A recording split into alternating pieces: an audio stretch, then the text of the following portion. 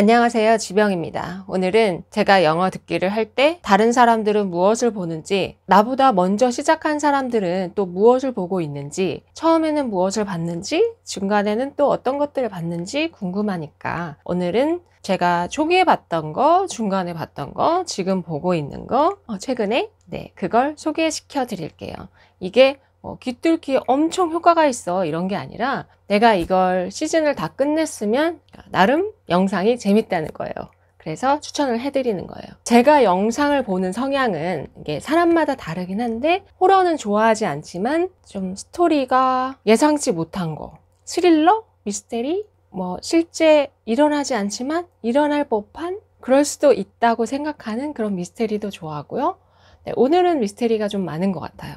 너무 뻔한 얘기가 아닌 거. 일상 드라마나 시트콤 이런 건 제가 그렇게 좋아하는 건 아니고, 프렌즈 빼고, 프렌즈는 너무 굉장한 작품? 제가 좋아하는 취향을 소개시켜 드릴게요. 10개? 10개.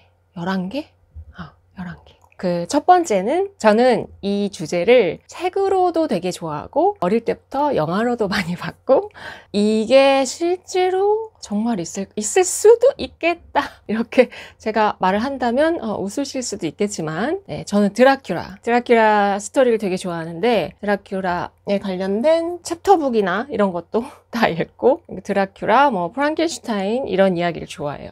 이거 시리즈예요. 오늘은 시리즈물 위주로 소개시켜 드릴 거예요. 네, 시리즈물은 장점은 이 작가들이 글을 쓸 때 잘 쓰는 패턴들의 말들이 있어요. 그러면 그게 자주 나타나요. 이 시리즈물에서. 영화는 겨우 2시간, 뭐 3시간 이렇게 되지만 시리즈물은 되게 길잖아요. 그 안에서 여러 사람이 나오는데 그 사람들이 많은 이야기를 하고 그리고 비슷한 이야기도 하고 다른 이야기도 하죠. 그리고 그 말투도 익숙해지게 돼요. 시리즈물에서. 그러면 이런 종류의 사람들의 말투는 익숙해진다. 뭐 그런. 그래서 이 시리즈물을 재밌게 다 보다 보면 그 다음 영상을 봤을 때, 어? 나 소리 좀 늘어있네? 어? 좀 더 잘 들리네. 이런 느낌이 들어요. 물론 모든 소리는 잘 들리지만 우리가 안 들린다고 하는 말은 이 말로 들리지 않는다는 말이죠. 우리 한국말에서. 하지만 여기에 모순이 있죠. 안 들리는 게 아니라 들리지만 알아듣지 못한다죠. 그렇지만 이 중간 과정이 있죠. 들리지만 또박또박 들린다. 들리지만 알아듣지 못하지만 어, 소리가 조금 더 선명하게 들린다. 이게 중간 과정인데 이때 사람들이 되게 못 참거든요. 하지만 이 선명하게 들린다를 되게 많이 듣고 나서 이게 문장으로 들린다가 나오니까 이게 선명하게 들린다 해서 알아듣지 못하는 소리가 나오더라도 그걸 참고 계속 들으셔야 돼요. 그러니까 예를 들어서 아, 얘기가 너무 길어졌는데 이 드라큘라를 소개하다가 제가 뭐 하나만 얘기해 드릴게요. 이게 무조건 문장으로만 되는 게 아니라 그러니까 어떤 상황 제가 예전에 Love Island를 볼 때 거기서 남자와 여자가 서로 알아가는 그런 시간을 가졌어요. 근데 거기서 말을 하는데 오스트레일리아 발음이다 보니까 되게 아 좀 안 들린다 하면서 들었거든요. 근데 이제 서로 질문을 하는 거예요. 취향, beer and wine 이렇게 얘기했을 때 beer and wine 이게 빨리 걔네 말투로 얘기했을 때 뭐라는 거지? beer and wine 했는데 beer and wine인 거죠. 그러니까 이 상황에 맞는 질문인 거죠. 아니면 cat and dog 했을 때는 cat and dog은 우리가 이렇게 cat and dog 하니까 딱딱 끊어지니까 캣을 좋아하니 뭐 떡을 좋아하니? 뭐 이렇게 들리는데 어, 와인 이렇게 연결해서 미얼 와인이 연결이 됐을 때는 잘 안 들릴 수 있다는 거죠. 되게 쉬운데도. 그래서 그 상황을 내가 그 사람들이 된 것처럼 아니면 삼자 옆에서 보는 사람인 것처럼 자세히 상황을 봐야 소리가 들린다는 거예요.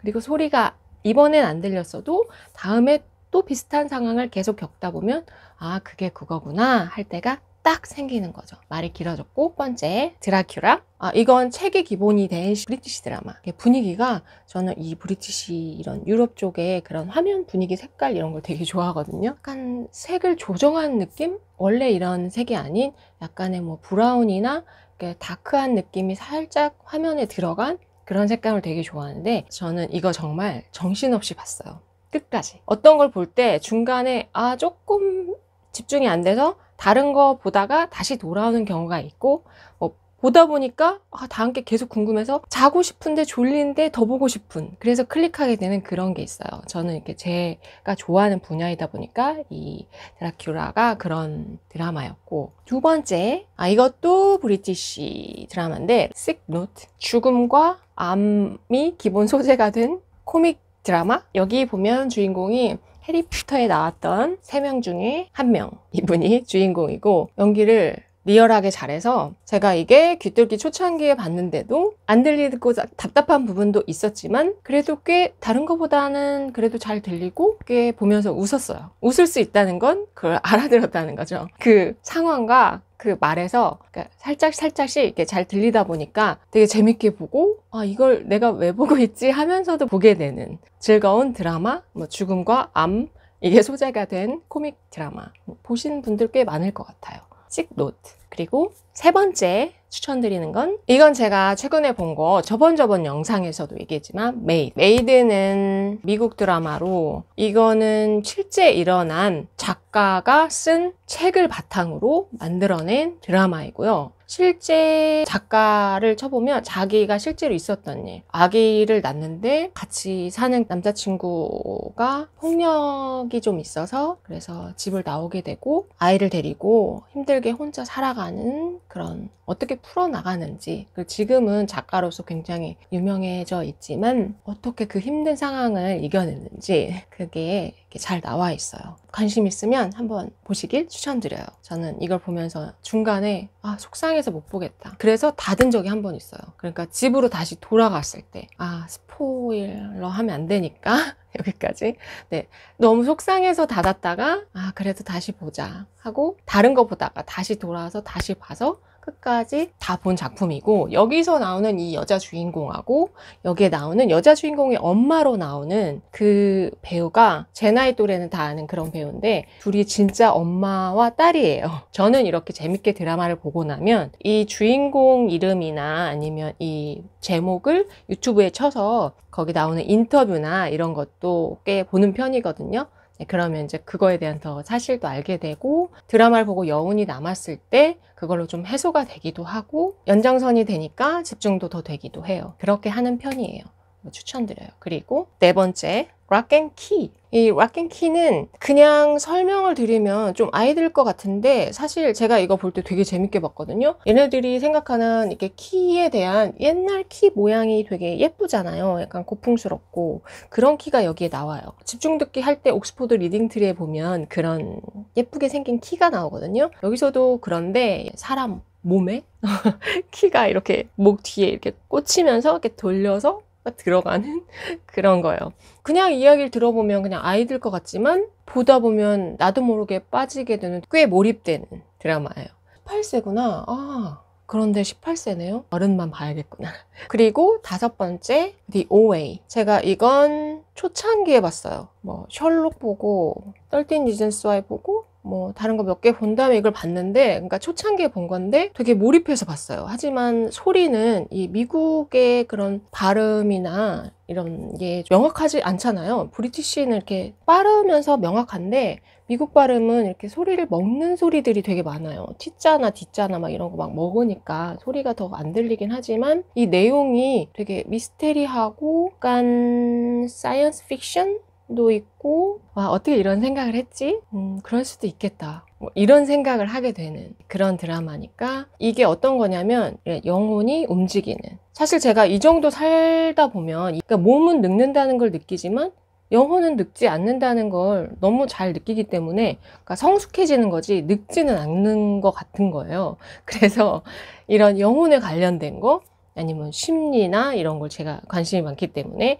이걸 초창기에 그렇게 막 뭉개지게 웅얼거리게 들리는데도 불구하고 되게 재밌게 본 시리즈물. 지금 다시 보려고 했더니 이 내용을 그때 초창기에 봤는데도 내용을 잘 알기 때문에 지금 보니까 좀 집중이 덜 되더라고요. 그래서 다시 못 보고 그러니까 다음 내용이 안 궁금하니까 집중이 덜 되는 거죠. 그리고 여섯 번째, 여섯 번째 Glitch. 네, 이 Glitch는 이것도 초창기에 봤어요. 그런데 이게 오스트레일리아 드라마라서 발음이 좀 이상하네 하면서 들었는데 그 내용 자체가 너무 재밌고 그리고 이것도 삶과 죽음에 관련된 얘기라서 그리고 영혼 어, 이거는 영혼뿐만 아니라 몸도 다시 살아나는 그런 이렇게 미스테리. 그렇지만 이 드라마 자체가 안에서 이렇게 드라마를 만들어 가는 과정이 실제 되게 현실적으로 막 이렇게 이야기가 전개되다 보니까 정말 실제 일어나는 것 같은 그런 느낌인 거예요. 그러니까 내용은 되게 미스테리고 내용은 음 약간 무섭기도 하고 살짝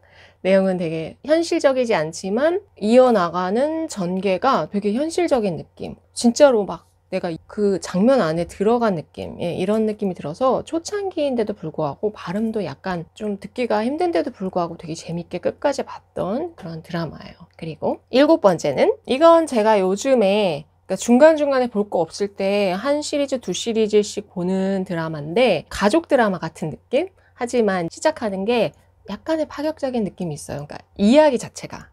그냥 화면이 그렇다는 건 아니고 두 부부가 있는데 두 남자가 이 여자 둘 그 자기 부인들한테 이혼 선언을 해요. 근데 이게 되게 친한 친구, 일도 같이 하는 친구인데 둘이 그동안 그 남자 둘이 친구 둘이서 사랑했던 거예요. 근데 그걸 속이고 이 부인들한테 굉장히 잘하면서 살았어요. 그런데 이제 나이가 정년퇴직할 정도의 나이가 되다 보니까 굳이 그렇게 살 필요가 없다고 느끼게 됐나? 아무튼 그래서 선언을 하고 이혼을 하고 그리고 이 여자 둘이서 같이 살게 되는 아 이걸 너무 많이 얘기해 주면 안 되는데 그러면서 어, 전개가 되는데 이게 주인공들이 할머니 할아버지잖아요. 그런데도 제가 나이가 많다 보니까 아, 그 나이 정도는 어떻게 살아갈까? 어, 이런 상황에서 그분들은 이거를 어떻게 헤쳐나갈까? 이게 되게 궁금한 거예요. 그리고 거기 딸들도 나오고 아들들도 나오고 어, 이 이야기 자체를 되게 재미있게 풀어나갔어요. 그래서 이렇게 시즌이 긴 거는 그만큼 재밌다는 거죠. 제 생각엔 그래요. 그렇지 않은 것도 있지만 그래서 시즌이 길면 어? 좀 봐볼까? 하는 생각이 좀 들긴 해요. 그래서 봤는데 장면 장면 이야기 이야기가 재밌어요. 제가 요즘 보는 거니까 저는 좀 잘 들려서 재밌는 건지 그건 잘 모르겠는데 되게 막 커다란 이야기가 있진 않은데 되게 장면 장면에 그런 풀어나가는 음, 말들이나 뭐 이런 게 재밌는 거 보니까 좀 조금 들리시는 분들이 봐야 되는 건가? 이런 생각 생각이 들어요. 하지만 일반 잔잔한 드라마 중에서 어, 볼만한 거, 잔잔한데도 이상하게 봐지네 하는 거, 뭐 그런 드라마 정도라고 보시면 될 것 같아요. 그리고 여덟 번째, The Unlikely Murderer. 예, 이건 murderer, 살인자 이야기인데 이게 based on the unsolved crime, 해결되지 않은 사건을 주제로 이게 스위디시 드라마인데 그게 실제 일어난 이야기죠. 그래서 그걸 이렇게 드라마로 만든 거예요. 더빙을 영어로 해줬기 때문에 제가 본 건데 막 살인 그 장면이 막 끔찍하게 많이 나오고 막 파격적이고 그런 건 아닌데 이 한 사람의 그런 이렇게 살인자로 몰린 그러니까 실제로 살인자 라고 할 수 있는 그 사람이 이게 진짜 살인자일까 살인자가 아닐까 이러면서 계속 보는 거예요 그 사람이 진짜 그 살인자였을 때는 이 사람 심리가 어떨지 그 사람 행동이 이게 살인자여서 이렇게 행동을 하는 건지 살인자가 아니라서 이렇게 행동을 하는 거지 왜 그렇게 행동을 하는 건지 계속 보게 되는 네, 그런 드라마이고 그리고 영어 더빙이다 보니까 소리를 끝까지 내잖아요. 원어민들이 연기를 할 때는 중간에 먹는 소리가 있고 같은 문장이라도 사람마다 발음이 다르게 나오니까 듣기가 약간 너무 빨리 지나가는 느낌이 있는데 성우가 영어로 얘기해 주는 건 약간 어색함이 있긴 하지만 좀 듣기가 편하죠. true story 좋아하시는 분들 보시면 좋을 것 같아요. 저처럼. 그리고 아홉 번째는 Alias Grace. 이거는 제가 중간에 봤어요. 그러니까 한 1년 정도 지난 다음에 봤나? 아, 근데 이게 캐나디안 크라임 TV 쇼인데 살인자를 상담하면서 이야기가 시작돼요. 이 여자가 살인자인데 이 주인공 남자는 정신과 닥터? 그래서 상담을 계속해요. 중간에 어떤 일이 일어났는지 왜 이렇게 감옥에 있게 됐는지 이렇게 상담을 계속하고 주인공들의 이 목소리도 좋고 이야기가 지루하지 않게 그 중간중간에 화면이 나오면서 이야기를 끌어나가면서 중간에 이렇게 둘이 서로 얘기할 때는 조금 듣기가 어려울 수도 있어요. 초반에 들으시려면. 그런데 이게 중간에 이야기가 있기 때문에 아, 그런 예상을 할 수가 있어요. 어떤 말들을 하겠구나 하는 예상을 좀 할 수 있으니까 말이 그렇게 쉽진 않지만 그러니까 중간 이야기 이야기가 계속 이어나가고 재미있기 때문에 볼 수 있는 옛날 고전 드라마를 좋아하신다면 이거 좋아하실 거예요. 저는 이런 화면, 옛날 화면이나 이런 소품들, 이런 옛날 소품들 이런 걸 좋아하기 때문에 그리고 옛날 이런 디자인의 옷, 그런 서양의 옛날 모습 이런 걸 되게 궁금해하기 때문에 이걸 재밌게 봤어요. 그리고 열 번째는 센스8. 센스8은 제가 최근에 보고 있는 드라마예요. 센스8은 이게 시공간을 넘나드는 그런 영혼에 관련된, 예, 이것도 좀 영혼에 관련된 건데, 미스테리면서 퍼즐 같은 느낌? 주인공들이 되게 많다 보니까, 주인공들이 어떤 공간에서 그 영혼들이 만나거든요. 그런 영혼들만 만나는 게 아니라 몸도 같이 만나는 느낌이 들면서 나오는데, 여기에 제가 보다가 배두나가 나오는 거예요. 배두나 배우가.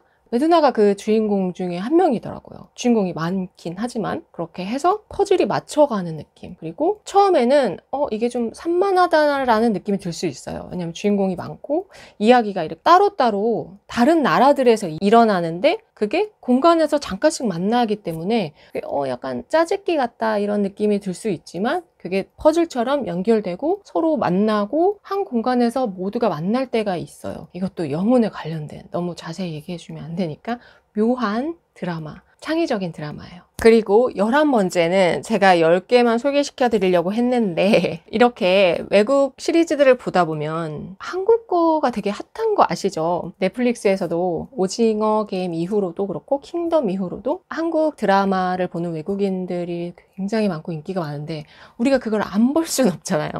제가 지금 오늘 11번째로 소개시켜 드리는 드라마는 한국 드라마 My Name. 제가 영어를 시작하기 전에 한국 드라마는 형사들이 나오는 드라마 이런 추격 막 이런 걸 되게 재밌게 봤어요. 뭐 심리 추격 스릴러 막 이런 지금 뭐 영어도 그런 거 많이 보긴 하지만 여자 주인공이 되게 안쓰러운 그런 거 되게 잘 보는 것 같아요. 네, 그 상황을 이제 복수를 하는 건데 어떻게 이어 나갈지 이걸 계속 보게 되는 드라마 한 번에 정주행 하게 되는 드라마예요. 그런데 한국 드라마들은 말이 많지 않죠. 그래서 그거 감안하고 보시면 되고 중간에 이게 한국 드라마 볼 때는 제가 좀 영어가 덜 늦는 느낌이 좀 들긴 하지만 그런데 옛날에 우리나라 킹덤 드라마 어, 영어 더빙을 들을 때는 너무 한국 발음이 세서 듣기가 조금 힘들었는데 점점 이 영어 더빙이 오징어 게임에서도 그렇고 발음도 되게 미국식 발음과 한국 발음이 약간 섞이면서 자연스럽게 영어를 하는 성우들의 말투가 점점 자연스러워지는 것 같아요.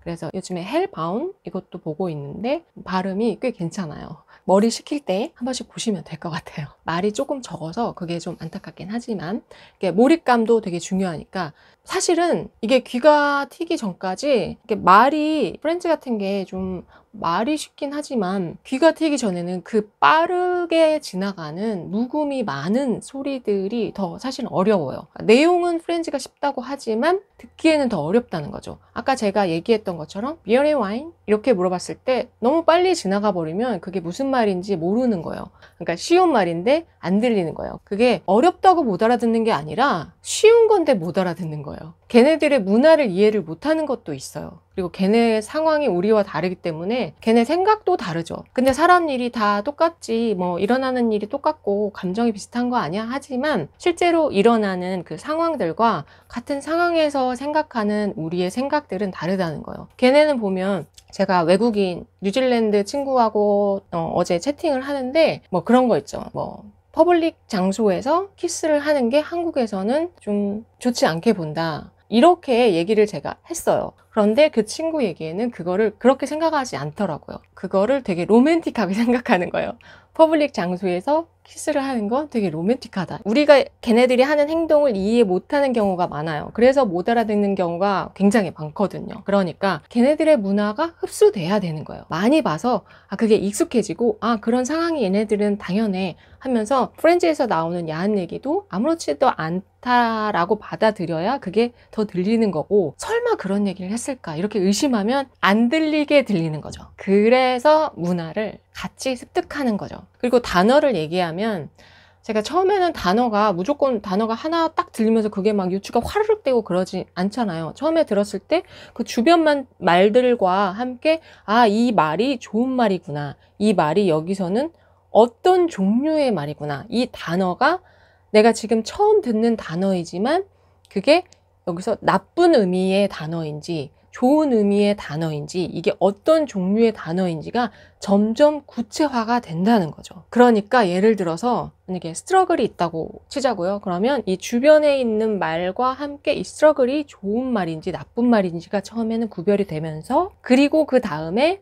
그러니까 어떤 의미가 되는지가 조금 더 가까이 가면서 이게 의미가 점점 확신이 들어가는 거예요. 그러면서 그게 그렇게 늘어가면 잊혀지지 않게 되는 거예요. 그 단어들이. 그래서 우리가 아무리 쓰고 외우고 한국말로 번역해서 외워도 외워지지 않고 다음에 또 잊어버리는 이유가 우리가 중간에 유추했던 과정이 없고 좋다, 나쁘다, 어떤 감정이 있다, 이게 여기서도 쓰이고 저기서도 쓰인다는 그런 짐작 자체를 하지 않았기 때문에 이 단어에 대한 경험이 적어서 그게 어떤 것이다라고 분명히 한글로 외웠지만 이 영어가 다음에 또 만났을 때 써먹지도 못할 뿐더러 이해가 또 되지 않고 뭐였지? 이렇게 되는 거죠. 그러니까 이게 늘어가는 과정이 점점점 있어야 되는데 그림도 갑자기 확 잘 그릴 수 없는 것처럼 이 내가 이거를 발견하는 거예요. 그러니까 단어의 뜻을 점점 확신이 들면서 발견하는 거예요. 그러니까 어떤 캔 하나를 만약에 그린다고 치면 이 캔 하나의 모양 하나가 처음에는 자세히 안 그려져요. 왜냐면 내가 이 모양 디테일을 발견하지 않았기 때문에.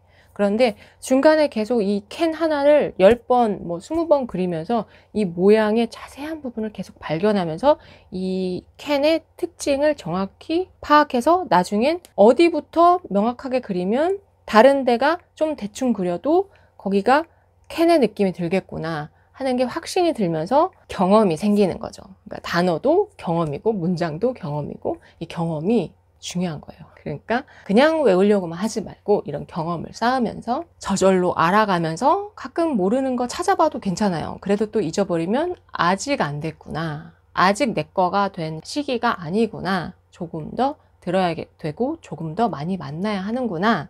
라고 생각하시면 돼요. 오늘은 여기까지. 제가 추천한 것들, 제가 끝까지 본 것들이니까 어, 보다가 재미없으시면 내 취향이 아니면 그냥 닫으시고 재밌는 거 찾아서 한 번씩 보시길 바래요. 제가 왜 추천하냐면 제가 뭘 보는지 궁금하실까 봐 들고 왔어요. 영상을 꼭 뭘 봐야 돼. 뭐 이런 건 없어요. 사실 뭐 노팅힐이나 프렌즈가 아무리 그게 뭐 보면 100번 보면 기가 트여 이런 말이 있어도 보면 그렇게 쉬운 거 아니에요. 사실. 그게 말은 쉽지만 발음이 쉽지 않아요. 그래서 초보한테 쉽지 않은 영상이라고 봐요. 제 생각에는 노팅힐도 그랬어요. 그렇게 쉽지 않은 발음의 영화였고 프렌즈도 마찬가지고 지금 프렌즈는 뭐 또 봐도 너무 재밌지만 그건 제가 이제 그 웃음소리가 거슬리지 않을 정도로 말소리가 잘 들리기 때문이죠. 그러니까 그런데 중간에 계속 시도를 했어요. 언제쯤이면 이걸 내가 웃음소리가 거슬리지 않게 들릴까를 계속 중간중간에 몇 달에 한 번씩 시도를 했는데 어느 순간 딱 재밌을 때가 있었던 거죠. 그리고 앞에 에피소드들을 하나씩 참으면서 봤어요. 왜냐면 유명하니까. 왜 도대체 유명한 건지. 이러면서 그렇게 계속 시도를 하는 거예요. 뉴스도 처음에는 못 봐요. 아무리 소리가 명확해도. 그런데 중간중간에 내가 그걸 듣고 싶으면 계속 시도를 하는 거예요. 어, 오늘 시도했는데 조금 힘드네? 그러면 다음에 시도하면 돼요. 어, 조금 더 늘었을 때 해볼까? 어, 이제 좀 들리지 않을까? 하면서 시도하면 돼요. 그런데 제가 잘 들렸던 거, 처음부터 잘 들렸던 건 explain. They explained. 이거는 어떤 주제들이 있으면서 그거에 대한 다큐멘터리인데 아주 깔끔하게 소리도 아주 깔끔하게 영상도 그거 소리에 맞게 계속 변하면서 음, 인터뷰도 하고 굉장히 잘 만든 다큐멘터리니까 어, 초창기에 보기 좋을 것 같아요. 너무 많이 소개시켜 드렸나? 그래서 오늘도 좌절하지 말고 우리의 무의식을 믿고 우리가 귀가 안 들리지 않는 한 꼭 귀는 들리니까 근데 이거 자꾸 의심하고 아, 안 들려서 미치겠어 이렇게 안 들리는 부분만 자꾸 들으려고 하고, 그러니까 들리는 부분이든 안 들리는 부분이든 그 영상을 보면서 내가 다음 게 보고 싶은 거 그런 영상을 보면서 계속 지속하시다 보면 결국에는 아이들처럼 귀가 트인다는 거. 우리 아이들이 정상적으로 엄마가 데리고 잘 키우게 되면 그러니까 만으로 한 살 정도 됐을 때 말을 좀 알아듣거든요. 그러니까 그런 원리예요. 그거를 우리가 귀가 탁 트였다고 해서 우리 막 40대만큼 귀가 트이는 건 아니고 우리 아기가 귀가 트이는 것처럼 다 들리지 않고 내가 경험한 것만 알아듣는 그런 수준이니까 너무 기대하지 마시고 물론 귀가 트이면 느낌이 짜릿하고 와 말로 들리네 이렇게 되지만 그래도 이제 거기서부터 또 시작이라는 거 그리고 아 내가 영어를 이제 잘할 수 있게 됐구나 이런 느낌이 든다는 거. 네, 그 정도이니까 꾸준히 지속하시고 우리는 실용 영어를 하기 위해서 이 영상을 보고 있죠. 실용 영어 맞아요. 말하고 듣고 소통하고 읽고. 화이팅!